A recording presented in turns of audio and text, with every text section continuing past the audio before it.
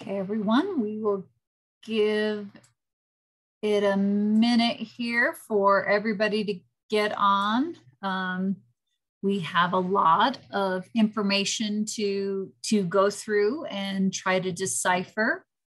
And so one, I just wanna welcome you all um, to this webinar.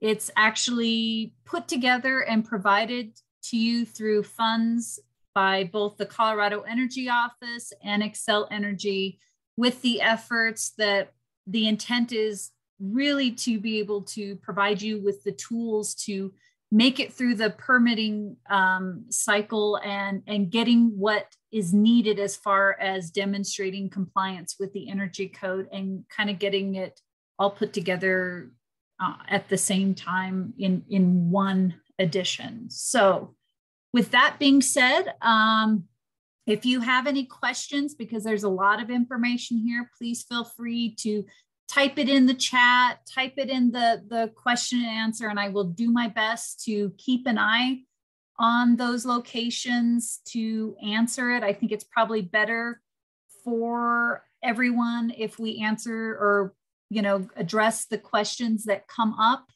when the slide is there um, as opposed to um, typically for these webinars, we, we hold questions till the end. So just feel free to ask your questions as we move about on this particular webinar. So welcome everyone. Today we're gonna talk about the requirements for the energy code and what should be provided for that permit submittal.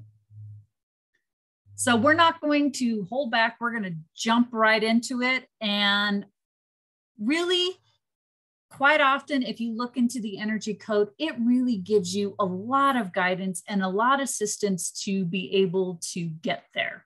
And one of the sections that I think gets overlooked, but really should be utilized, is section R103.2. And what this section does is tell you what are the requirements that need to be placed on those construction documents. And and really, if this information is shown on the plans, it's pretty easy to make it through that permitting process.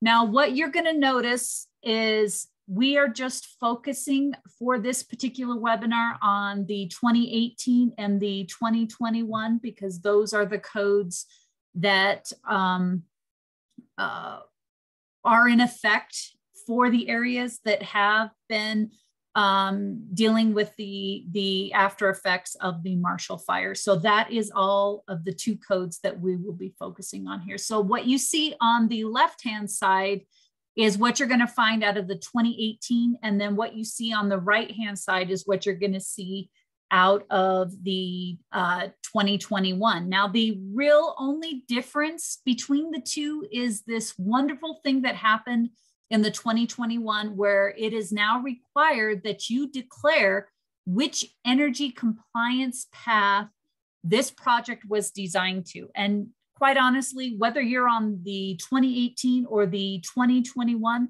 if you place that on your plans, I can guarantee you, you will be um, plans examiners will be very happy to know because we aren't trying to figure out what exactly is it that you're utilizing. Because sometimes there might be something that would indicate oh we're going prescriptive and yet you're getting a report document that says to the contrary. So declaring what it is is going to make a huge difference as far as how are things reviewed and what is actually reviewed so let's talk about what these compliance paths are, whether you're in the 2018 and the 2021. So we're going to focus right now with your options that are available for the 2018.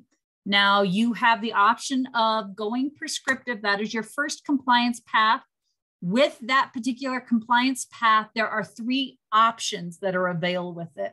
So if you say I'm going prescriptive and I get those plans, I'm going to ask you which option of prescription are you going with? Are you going with the insulation uh, and fenestration criteria, that particular table, the table that probably when anybody says going prescriptive instantly comes to mind?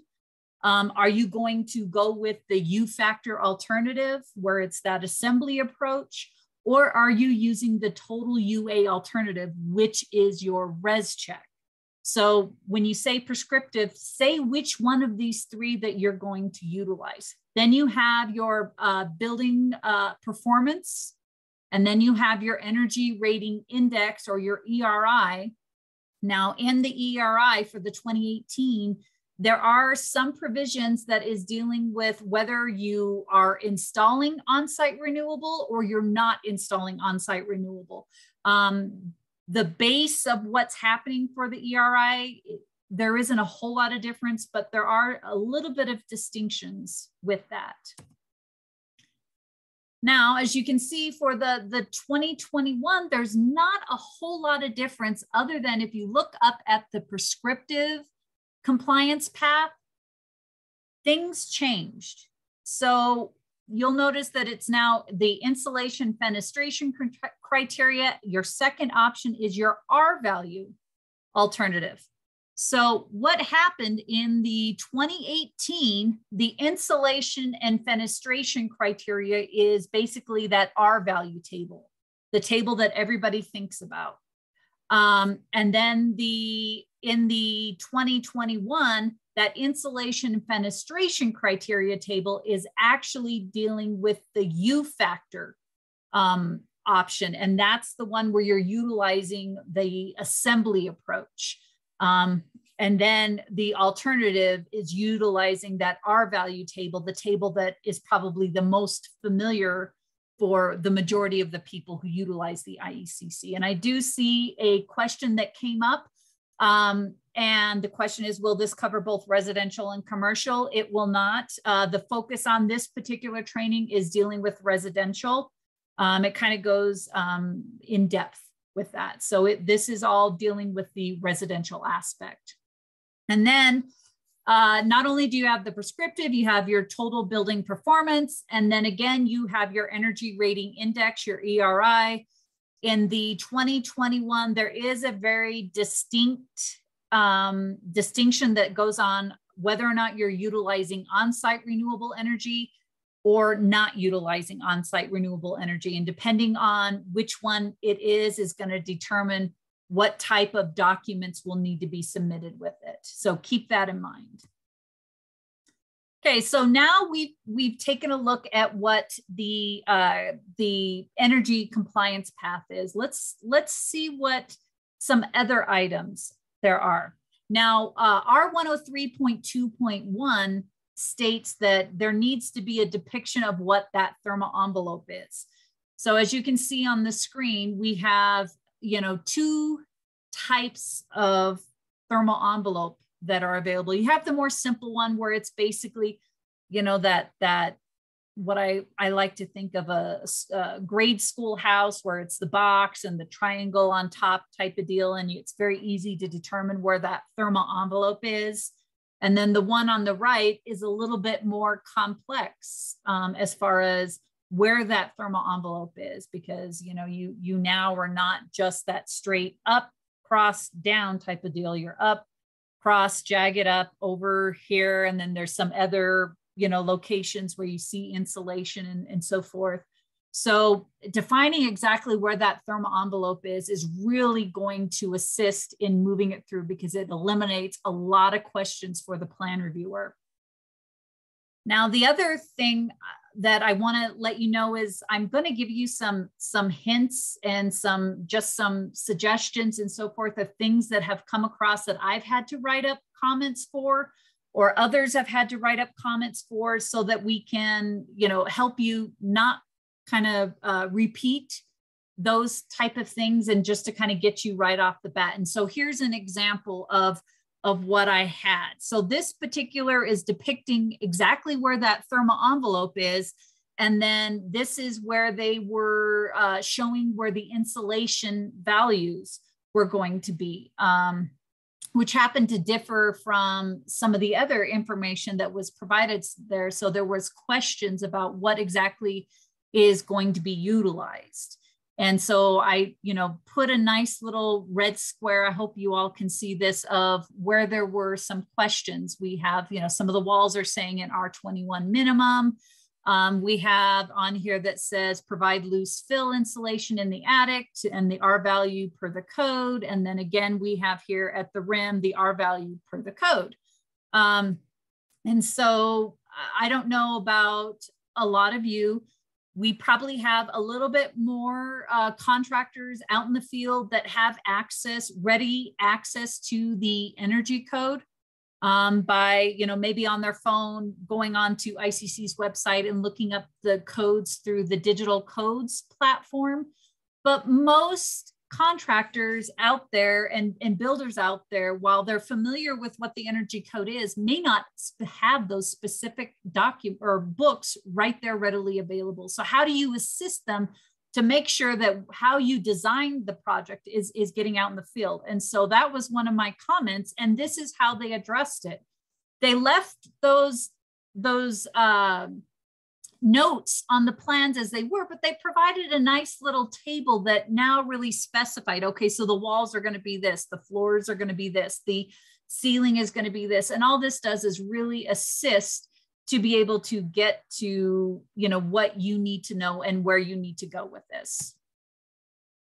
And then here's another example. This is one of those things that I think is very beneficial because not only does it show where the thermal envelope is per se, but it also gives you those specific, those specific R value information and they provided the information for the uh, glazing so having it all right here, right there, is, is, makes it really simple. It tells us, you know, there's a requirement that says you have to provide what the R value is, what the, the type of insulation is, which is what this plan does. Because if you look in the attic, it says, you know, loose fill insulation. That gives you at least an idea. This gives you an idea of what those R values are and where they're located and, and what's involved for that thermal envelope. Now, one of the things you want to keep in mind when you start talking about that thermal envelope is making sure it's very clear about whether these particular items are in or out, right? Typically, there's a question is that crawl space in or out? Is it demonstrated that those walls are insulated or the floor is insulated? What about the garage? We have garages right now that are you know, being conditioned and are part of that thermal envelope. They're not out of the thermal envelope like they have been in the past. So there's always that question, you know, what are what are garages and attics? Attics is another area um, that is becoming more and more of the question that I'm hearing about is is that attic inside the thermal envelope or outside the thermal envelope? So as a designer, as a builder, as a, a, architect, making sure that it's very defined and knowing if this is in or out is going to be very helpful for that plan reviewer because then there's a question that they don't have to ask. They know, okay, that should be an R20 or whatever the case may be.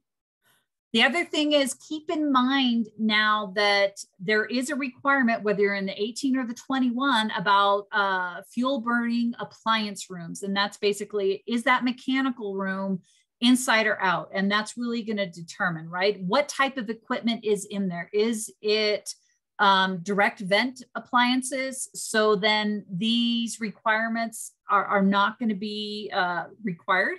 Or is it that it's not a direct vent appliance? And so now you're looking at there's the potential that you are going to have to uh, completely isolate that particular room, meaning, you know, you're going to have to put the insulation values uh, for the uh, thermal envelope, whether that's the walls, ceiling, floors, whatever's going to be involved with it. Uh, there's going to need to be sealing. The doors cannot um, have any louvers. It has to be gasketed. And then now that, you know, uh, reflects for that duct work and the water lines, those are going to have to be insulated. So all of this comes into play. So that's an awful lot of information. And so sometimes it's just better to put the little note, direct vent appliances. There you go, out the door and here we go.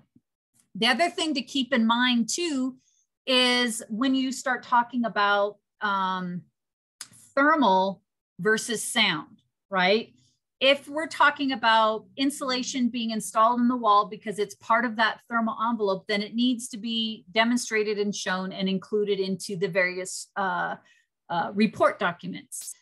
If it's in there because it happens to be a fire rated assembly or it's dealing with sound, that is not part of the requirements for the, the thermal envelope per se. It might be, but it's not strictly just there for the thermal envelope. So unless that insulation is being used as part of the thermal envelope, it shouldn't be included in the documentation as far as like your REScheck um, or uh, any of your other uh, energy compliance path documents. So where this would come into play is quite often like in a, in a situation such as this, if you recall, the area that is pink had shown some insulation. Now, because we're talking about insulation above uh, an exterior storage and insulation that was above the, the west mechanical room and the utility room, the question comes into play is is it being thermally isolated because the appliances aren't direct vent or they're not being conditioned so you're showing what's going on? Or is this because it's a sound situation? You want to make sure that it's it's you know you're not getting the sound in the quote unquote living spaces. Um, and so keep that in mind as a designer and architect you know show that on there just maybe have a some sort of differentiation that says for sound or something along those lines and don't include those floors in this case into like REScheck. The other thing I just wanted to bring up really, really briefly is, you know, this is dealing with residential. And remember, R-2s, our threes, and our fours that are three stories or less are required to comply with the residential provisions of the IECC. And so, quite often, that's where this may come into play is where you look on the, the exterior walls where it's pink. We know that that's for the thermal envelope. It's been defined. The uh, blue, as you see here, are dealing with sound. But what are we doing with those green areas? It, are, those uh, corridors being conditioned?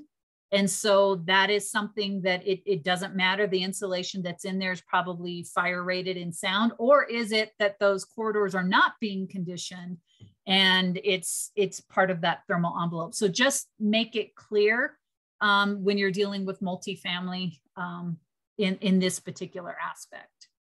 So as you see, just having that quick little discussion, we've taken care of the energy compliance path. We've talked about uh, insulation materials and there are values, where they're located, and that thermal envelope depiction. So now let's take a look about the fenestration. Now, fenestration on the 2018 for climate zone five, you do have requirements for your U factor, and there is not a requirement for your solar heat gain coefficient. Now, for the 2021 in climate zone five, the solar heat gain coefficient, there is a requirement now. The maximum is a 0.40. Now, I know with a lot of the uh, energy reports I get and for the uh, glazing that I am seeing, uh, the majority of them they're all meeting that anyway. So it's not really that big of a deal, but it is something that needs to be documented and is required to be placed on the plan. So put that information about what that solar heat gain coefficient for the glazing is. So I see this often. Um, here's uh, just some examples. I've seen it as a window schedule where they'll give me that U factor. That's perfectly fine. Remember, if it's for the 2021 also include that solar heat gain coefficient or whether it's a note. And if you notice here, there's a note that says, you know, the maximum fenestration for the glazing is going to be the 0.30. Um, and, and, and that's perfectly acceptable too when we're talking about residential. So we, we can check off our U factors. Another thing that's going to be so important is your air sealing details.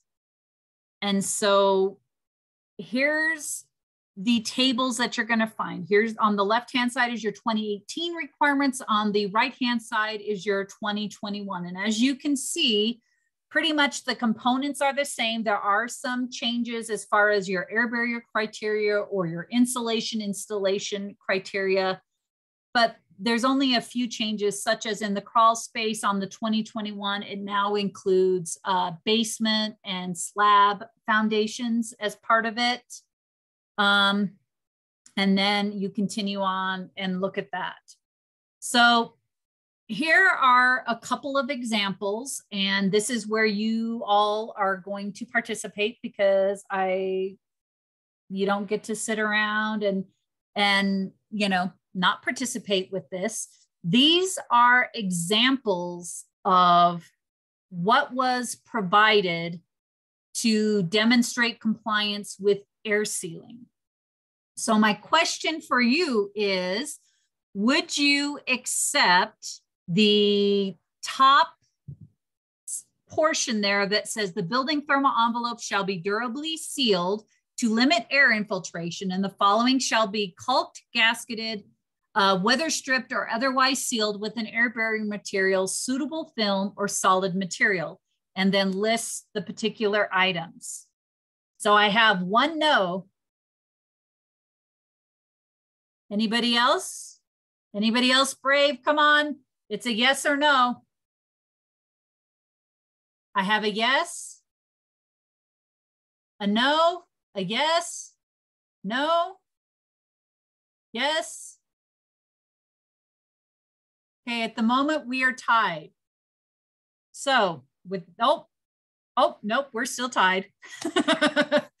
so now what I'm gonna ask you is for the bottom three here um, that talks about openings between uh, windows and doors, the attic access openings, and the rim joist junctions starting right now for those three, would you accept those as explanations for or details for air barriers and um, uh, air sealing?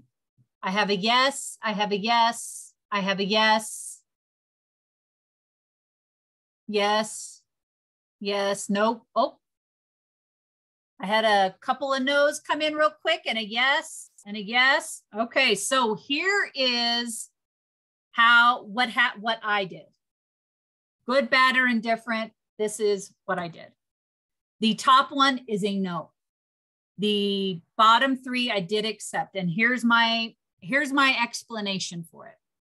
If you go into 103.2, the, the table I keep showing intermittent on the slides, it talks about this. You are required to detail this on the plants.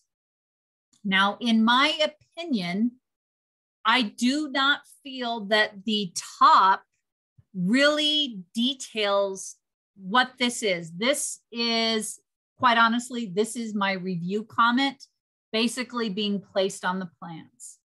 Um, and, and it's not, it doesn't give any direction for the, the contractor or the builder, right? They look at that and there's it's kind of they're left on their own and they just have to hope whatever they do will actually meet the requirement and isn't going to cause an issue um, when the inspector goes out right? Or is it going to cause an issue that it actually will cause damage and cause at some point those assemblies to fail? Uh, oh Great question. So for number 10, rigid insulation on the attic access panel is thermal info, not air sealing, correct? Um, yes, you, you are correct. That is talking about insulation and uh, to meet that requirement of the surrounding insulation R value. And if I could get those plans back because they were paper, it would have also had information about it being air sealed. So I do apologize for that. That is a great catch, Jason. Um, but I did accept it because there was further information. I just did not take a good picture of it that included it. but the reason why I did allow those bottom three is because I can read it. I have direction as far as how it's supposed to be installed. So those builders, the contractors, they know this is how the architect and the designer designed this house. And I, as a contractor or a builder, I can take that information that's placed there and be able to actually build it with the intent that it's meeting the air barrier and air sealing requirement. Which leads us to this. A picture is truly worth a thousand words. You can take a look at what you see on the left-hand side on the top. Here's an example of uh, dealing with an air barrier of a tub on the exterior wall. And it's very clear. I can see that. I can picture it. Whether I read the stuff on the side, I see what it is that I need to do. Right? How many here can see that top picture and know exactly what it is that that architect had intended for it to be done? Anyone? They're all good with it? I, I'm good with it, right? And then if you see on the bottom there, there's an example of when you have it there, you actually get that out in the field, right? The whole intent is the contractor and the, the builder, they are not in charge of the design of the building. They are not responsible of figuring what this should be and what it should be look, you know, what it should look like. They are there to, you know, be told how did you design this building how is this supposed to be and and they'll do it but you have to give them that information to do it so the whole picture is worth a thousand words really speeds things up because the plans examiner is very easily able to uh, verify that those requirements have been demonstrated.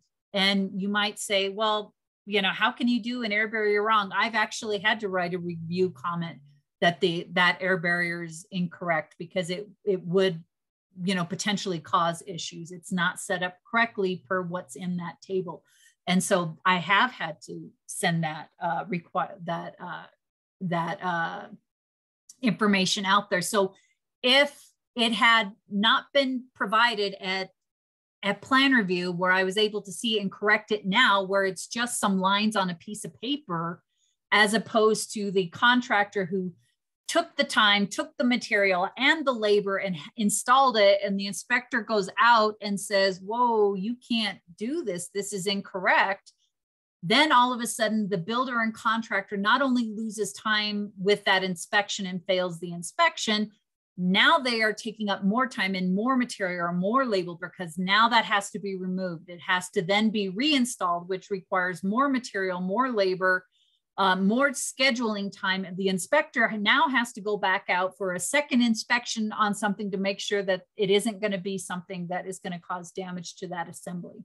So it, it really is a whole lot of, of um, simplification for everything down the road, having those details provided at plan review. Um, there are a lot of resources out there to uh, find this material. Um, uh, I'm, I'm actually putting together uh, an air barrier sheet that can be just attached if you don't have it. ABA, the Air Barrier Association of America, has a whole bunch of, of air barrier details that can be utilized. You can go to, um, oh shoot, uh, Building America Building America has a whole bunch of details that show, and you can go in. It has CADs, it explains all these different uh, components. There's a lot of resources out there to really assist you in, in providing that information to get it to the building department, the plans examiners, and the builders. So there are resources out there for that. And then, you know, there are actually some items in that list where notes are going to work. Not always do I get the, uh, uh, you know, a detail that talks about openings between, you know, windows and door assemblies and their and their jambs. I don't always get a detail showing that. I do have details showing that, but typically I'll see that as a note. Um, oh, I'm so sorry. It looks like I have a couple of questions that came in. Um, so if that whole area is closed cell spray foam, do you still need the thin profile wall sheathing? And I'm assuming you are talking about um, for the tub, Eric?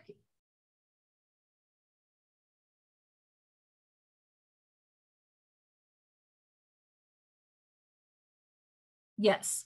Okay, so what I I believe the intent is, is I think that that is very possibly uh, available because an air barrier, when it hits a certain uh, air permeability, it is now considered to be, or I'm sorry, closed cell foam, it's now considered to be a, an air barrier. It doesn't say that it has to be a, a thin uh, film there.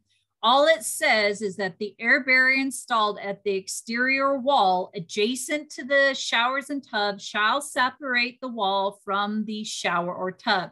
So basically, what they want is you got that sheathing, your insulation, and then an air barrier. It doesn't say that they have to be two separate components. So you could utilize closed cell foam in that particular fashion, in my opinion. I would not have an issue with it. I hope that helps.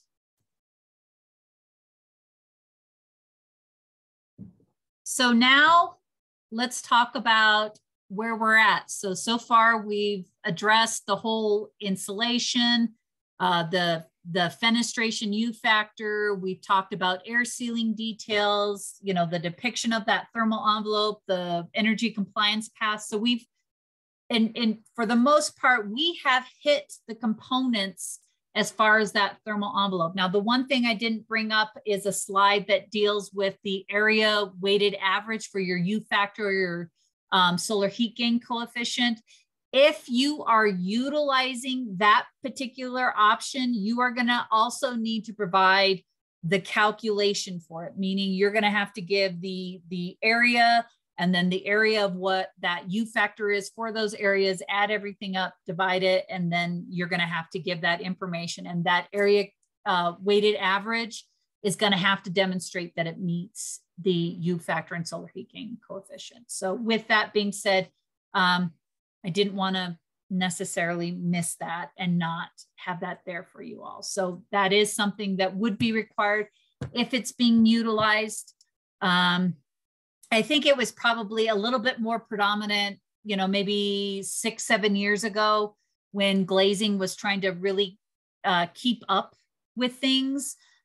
But um, glazing is one of those industries that has really kind of latched on to that whole uh, the energy code uh, part of that um, and you know you see a lot of of glazing now that does meet that u factor when we're talking about residential um, so there is that. And in the 2021 there is even an exception in there that talks about uh, an exception for the for uh, like climate zone five when you are um, i have to look it up to make sure. I think it's fourth yes.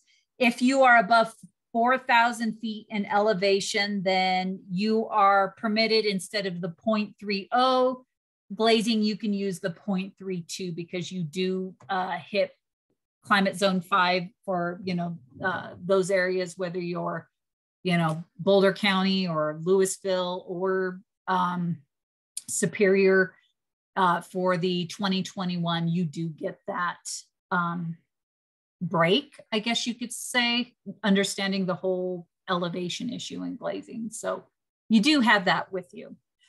So now the next components that we're going to take a look at is, you know, the mechanical system design criteria and what the, the those systems are as far as the equipment type, your sizes, your efficiency, and then also talking about number seven, which is dealing with your duct sealing or uh, your duct and pipe insulation and where all those are going to be located. So with that, you should be providing a manual J. It's re required. It's required not only out of the energy code, but it's also required out of the IRC. And it has been a component of the single family and two family dwelling code since all the way through, I think we found it um, that it was in there in 1992, 91. I can't remember now which one it is.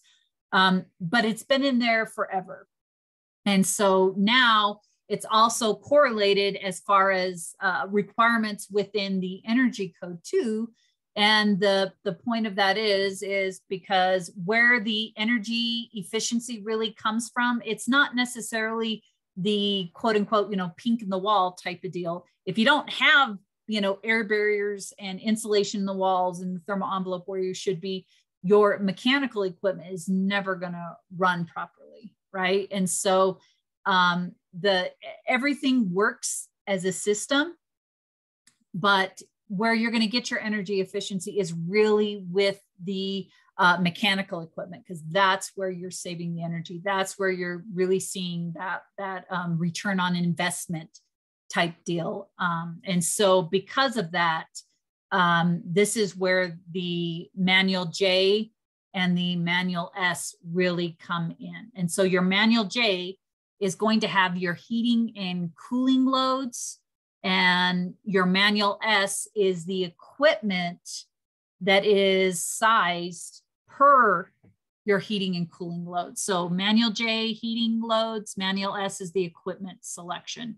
Now you can see that there's software. I think we've all probably seen software um, that gives us the information for manual J's, Wrightsoft, Elite, um, but there isn't really software that is very specific for a manual S. But typically in uh, Wrightsoft and Elite, they have a section that talks about and gives you the information as far as uh, the sizing and the efficiency that you're going to find. Um, is manual J&S required in boiler only HVAC systems? Yes. Uh, a boiler system would require uh, a manual J&S just like a heat pump would also. Um, and so if you can see on the screen here, the top part here is giving you uh, your mechanical system design criteria. You have your temperatures, um, the uh, square footage, what your um, humidity is. And so all that information is up on that top half. And then the mechanical and service uh, heating systems, the equipment types, the sizes and efficiency is on that lower part here where it says the heating equipment summary and the cooling uh, equipment summary.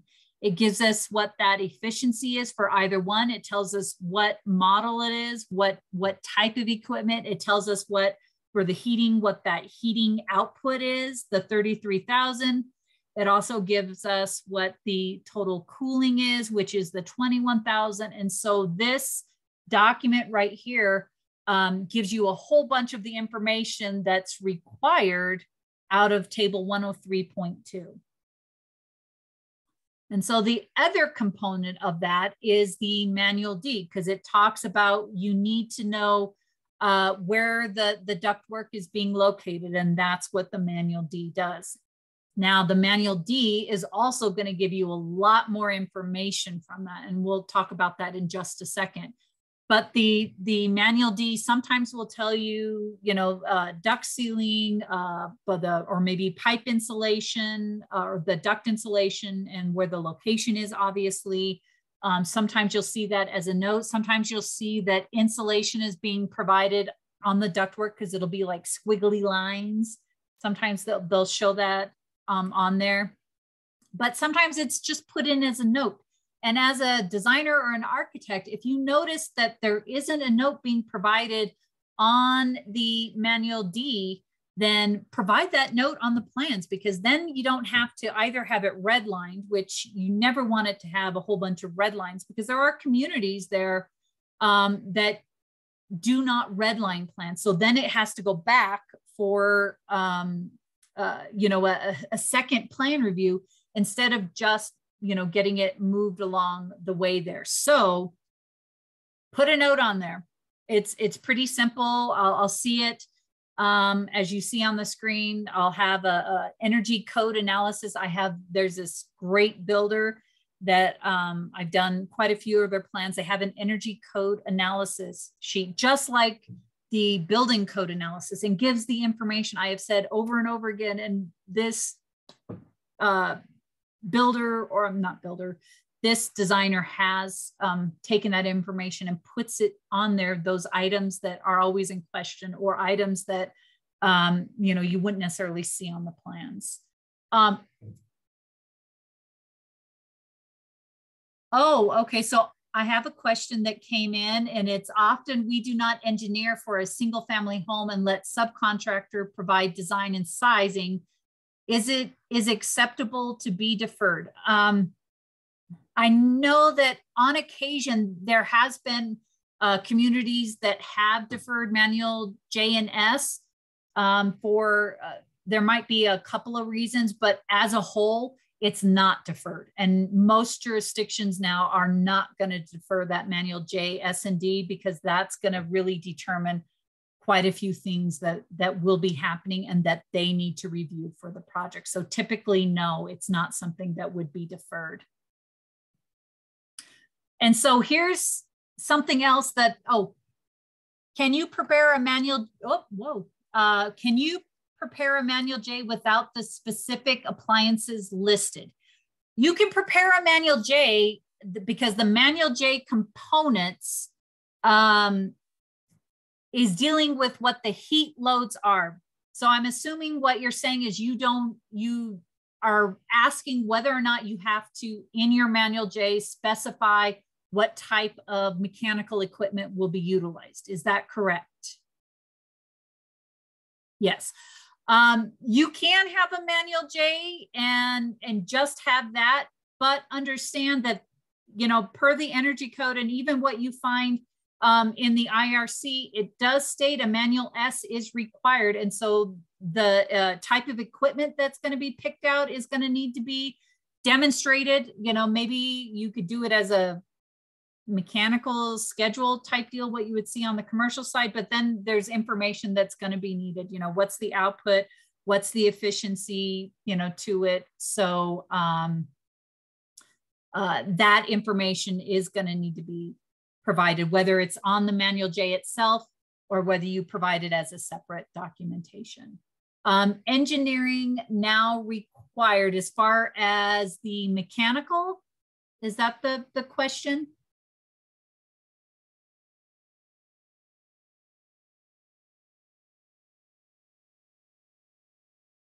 Oh, oh, just a statement. Okay, yes, there there is a lot that that's involved with it.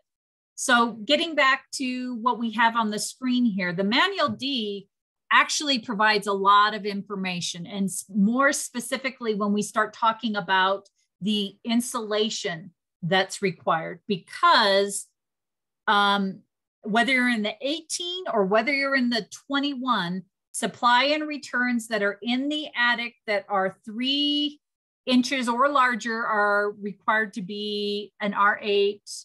Um, and then if it's in any other location and it's three size or three inches or greater, it's going to be required to be an R6. And then on the 2021, you have a lot more options that are involved with that. So with that being said, the manual D does a lot more than just show what that in, you know what that uh, ductwork is and where it's going to be. It's also going to give you what that size of the the ductwork is, so you know as an inspector, as a contractor, um, what insulation needs to be placed in there. You know, now hopefully all of this is in the thermal envelope, so it doesn't matter what the you know insulation value or the size of it is because you don't have to insulate it. But if it's outside that thermal envelope now all that ductwork has to be insulated and depending on the size and the location of where it is, is going to determine, you know, how much uh, insulation is going to be there. Now let's play the match game. And I, I bring this up often because if you are a designer or a, uh, a builder, architect, whatever, you need to make sure that these three components of your submittal match. That means Whatever is placed on your construction plans is the values that you're going to find in the energy compliance documents, whether it's REScheck, simulated performance, ERI, whatever the case may be, that it's placed in there and that your manual JDNS um, also have that information. Now, quite often what I find is that the construction plans and the compliance documents probably do match, but the manual J does not. And the reason why that typically is, is because in the very beginning, the three entities, whatever they're going to be, whoever's doing the plans, the compliance document, and the manual J get together, they discuss it, all the information is passed around, and the the documentation is created so the the we'll say the mechanical contractor is doing the manual j he does it to what the information he was given he gives the manual J to the architect or the designer for it. And then what happens? We all know that the uh, homeowner changes their mind or there's something that they have to adjust. So values get changed and everything happens. The construction plans person uh, takes that information, gives it to the energy compliance document because they want to make sure that you know they're compliant. But often there's this miscommunication and that information doesn't make it to the person that's doing the manual J. And so this is my plea. I, I, realize there's a whole bunch of moving components that are going on, and I know that things change, but instead of having to have, you know, another round of comments that come in because things aren't matching, and sometimes what's not matching may not make a difference, but it it, it could very well be. And so instead of having to redo the manual J again because review comments were out, do it right from the get-go. You have your final construction plans, whatever the, the stuff has changed, give the information to the person doing the manual J. They can very, you know, put adjust the uh, items that are in there that need to be adjusted and then move from there. And that just saves a whole lot of confusion for plan reviewer which is the correct documents what's the correct information then they have to ask the question whether it's sending out a review comment or making phone calls or whatever. It all of that does is take up time and take up time that your plans are sitting there instead of having the permit out and being able to really start the construction. So now that we've hit all of these items on there there's only a couple of things left really on that list that we need to talk about. One is let's talk about mechanical ventilation, right? You need to let us know what it is. What are you utilizing for your whole house mechanical ventilation? Remember that um, outdoor intakes and exhausts have to have dampers on them um, so that they are closed when the ventilation system isn't on there. I don't see that note very often on the plans. And again, when it comes to the energy code, they do not require that whole house mechanical ventilation happens. Um, this is where there's that relationship between the IRC and the IECC. The requirement comes out of, um, you know, the IEC or the IRC, but what the IECC or the energy code does regulate is making sure that it meets what the fan efficiency is per the table that's in there. Now, and remember H, uh, uh, ERVs and HRVs that are, um, you know, uh, not part of the uh, HVAC system are not required to be involved with that. Um, now on the 2021, there are a couple of changes with that. Um, you still are required, you still have to have the intakes the the big thing is whoops the big thing is um you know the the mechanical ventilation fans making sure that it's efficient and it meets those needs because in the 2021 there is testing for uh, the ventilation systems not just the whole house you know all the ventilation systems making sure that what was designed is actually getting out there and that you know. So having that information there is really going to assist down the road so let's talk a little bit about the uh, equipment and system controls. While there are some controls that are required in the 2018, you know, your thermostats, if you have, you know, snow melt systems and so forth, the uh, equipment and controls are probably a little bit more prevalent when it comes to the 2021. And so there are some control requirements on the interior lighting for um, that can be controlled by an occupancy sensor or a dimmer. My suggestion is put a dimmer in.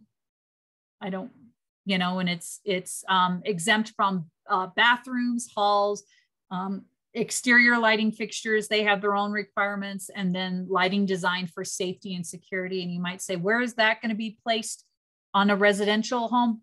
Remember that R-2s, our threes, and R-4s that are three stories or less still have to comply with this section. So this would probably be more along the lines for those corridors and um, stairwells that are involved in that multifamily. Those would be considered, in my opinion, designed for safety and security. So those would not be required to be on a dimmer or an occupancy sensor. And so here's just an example. I have plans for the, the jurisdiction that I review plans for. Um, they're already putting in dimmer switch and, and motion sensors, and, and this is what it would be look that it would look like. So having that on the plans just makes it very simple for the plan reviewer and then makes it very simple for you know the the contractors out in the field to know okay i need to put a motion sensor because again how many contractors have that energy code book right there and they're wiring the house and they're looking to see are there any new changes in there that i need to put in there? Should they know? Absolutely but we also need to help them to be able to make sure that they're doing the right thing. What would be an example of an approved mechanical ventilation testing entity be? Um, most uh, most rating rater com- companies that do energy rating, blower door test, duct testing, they have the capability to um, do uh, ventilation testing. It's it's a real simple process. It's you know it's the uh, it's a, a, flow box goes up to the vent.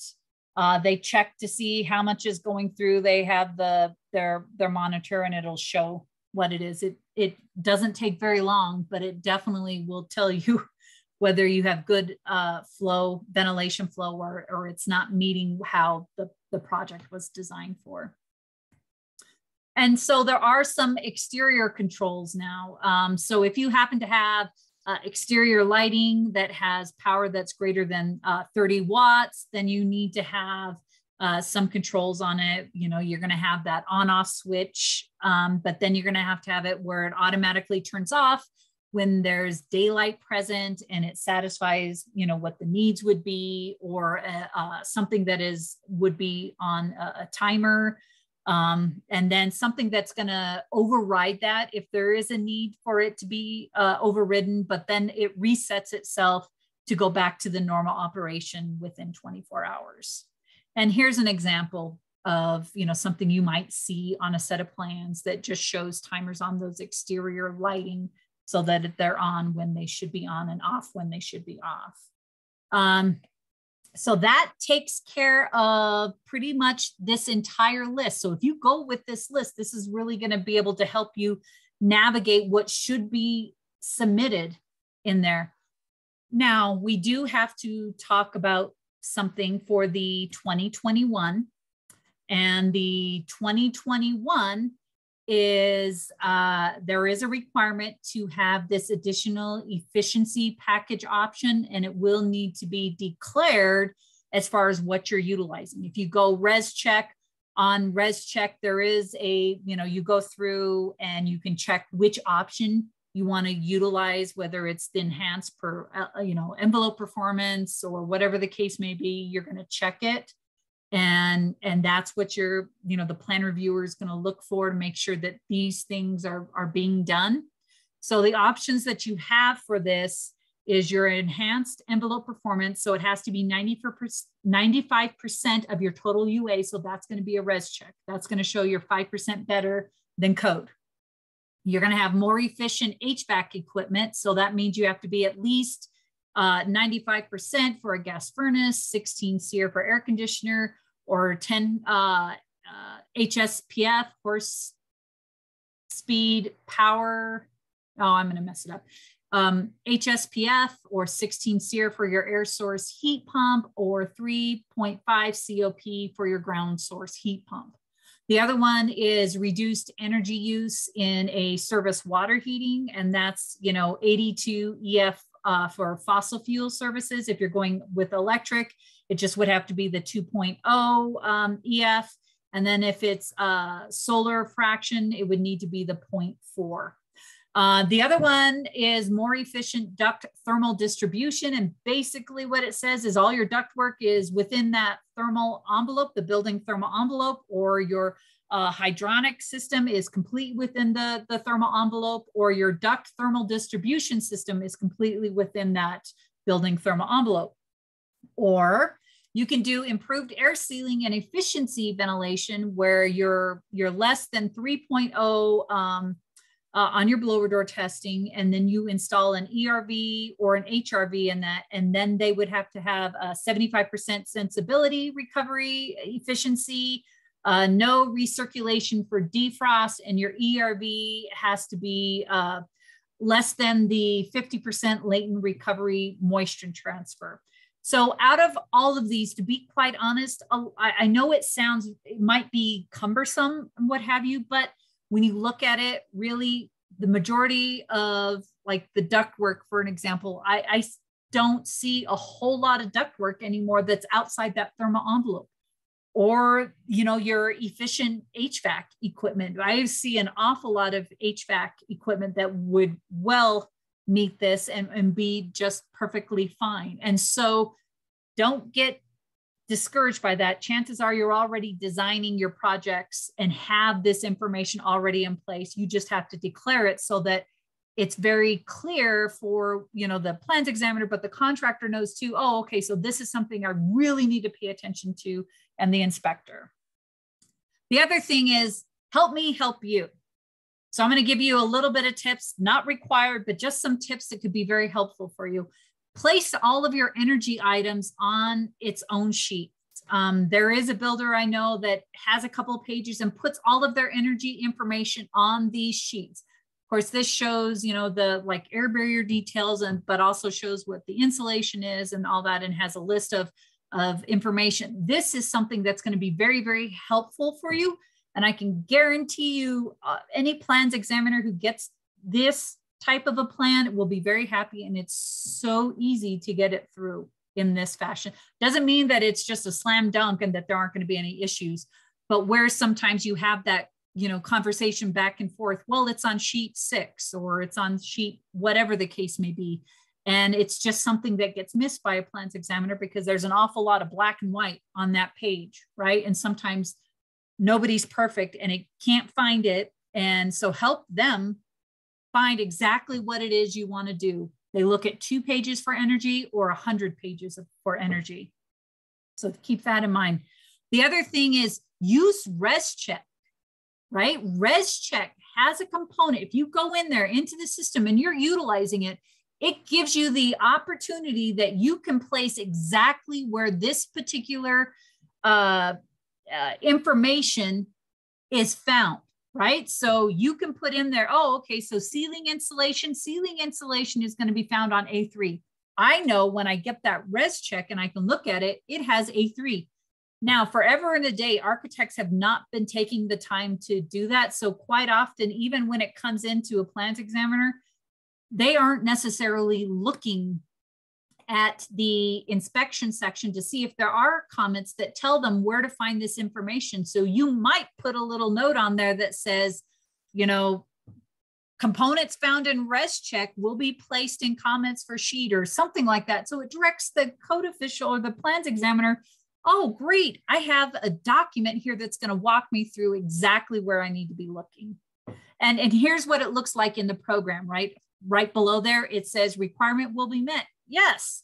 And it says plan a reference page section. Great, A2. And then it translates um, to what you see on that top part there. The other one, use an index to say where this information will be found. This happens to be from, of course, you know, a, a simulated performance where they're required to put in, provide an inspection checklist. They're not required to say what sheet location um, you're going to find this information on. This particular company does do that. And so that is a great way. Create an index, tell them exactly where they need to go to find that information because it's not just helpful for the plans examiner, it's helpful for the contractors, it's helpful for the builders, and it's helpful for the inspectors. And then the components on how you design the building is really going to be implemented down the road. The other thing is there are resources available out there. We have some, we have created through um, Xcel Energy uh, some submittal documents that, that really explains everything that you just saw here. You Here's the list of the components that are required. No matter what, you know, no matter what compliance path you use, these items are required. And then it's broken down into the various uh, compliance path. Here's what you need for prescriptive. Here's what you need for the, the performance path. Here's what you need for the ERI.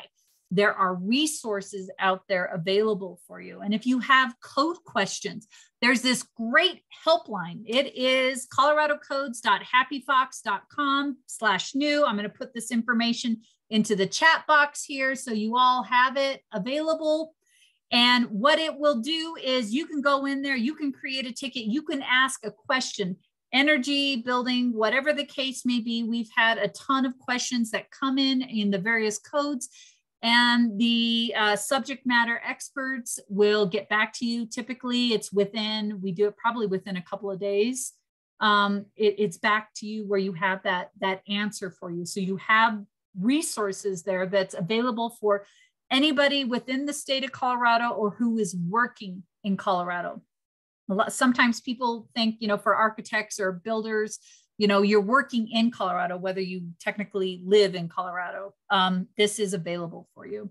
The other resource that is out there is we have these wonderful Wednesday webinars that happen. And here are the upcoming uh, scheduled training that will happen. I know it looks, you know, a little short on the Colorado Energy Office side, but their fiscal year only goes through the end of June. They will have some more once the new, you know, uh, budget comes in. So there'll be some more that will be coming in later on in the year. But um, Xcel Energy, which I spelled wrong there, I just noticed. Um, so please disregard the E. Um, Xcel Energy does have some, some uh, classes that are up and coming. Here are the links. I also placed the links in the chat box. So you do have that available. And then of course, if you have questions, please feel free to reach out to me. I'm always happy to answer questions. Shoot me an email. I'd be happy to um, answer them for you. Um, again, the Colorado Codes Helpline is great for that also. And for all of you out there that are um, uh, AIA members and need the LUHSW credits, uh, send me your AIA number and I can get your attendance registered for that. And with that, that's the end of me talking. And I'm very happy to answer any questions anybody has. yes, you do get uh, CEUs for ICC. They are preferred providers. So those will go out. I will uh, just preface this that um, Gil is the one who uh, does the certificates for me for both, you know, uh, dealing with AIA and uh, uh, ICC. He is teaching at EDUCAUSE, so please bear with me. These will not go out to probably next week. So, but they will go out. And again, and I am I'm happy to answer any questions.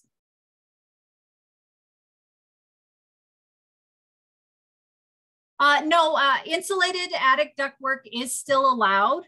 Um, it's just if you are going to put your ductwork, um, uh, Hannah, email your me your AIA number because I won't have it available to me after uh, the webinar stops. But uh, the uh, insulation for the, the ductwork, what it's saying is if you're going to place it outside of the thermal envelope, you won't be able to use that additional efficiency option, but you are still, if that ductwork is located in the attic, you are required to insulate it.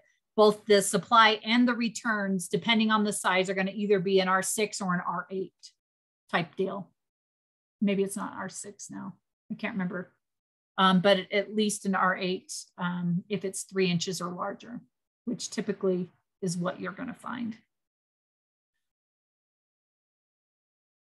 Yes, I will be happy to send out a handout to all those who were in attendance for this um, with, uh, with my slides so that they are available because truly we want to help you as uh, you know designers and contractors and builders to provide the information that's needed so that you can get through this process you know as quickly as possible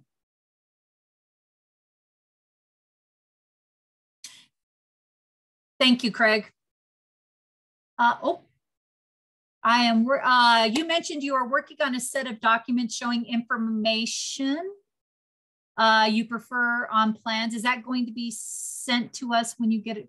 Uh, what we do have is um, we do have a uh, document. It's a technical document that provides you with all the, the documentation that's required when you are submitting for 2021 or 2018. If you are interested in that, please reach out to me. I am happy to, to send that out. It's just another tool in your toolkit to really help you to get through the process.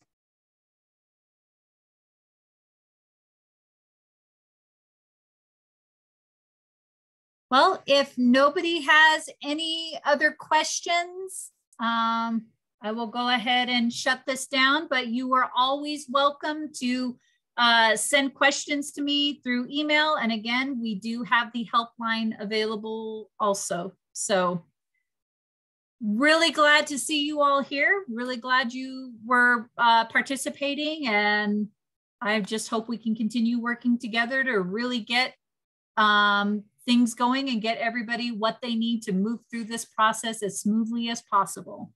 So thank you, everyone. And I hope you have a fantastic day.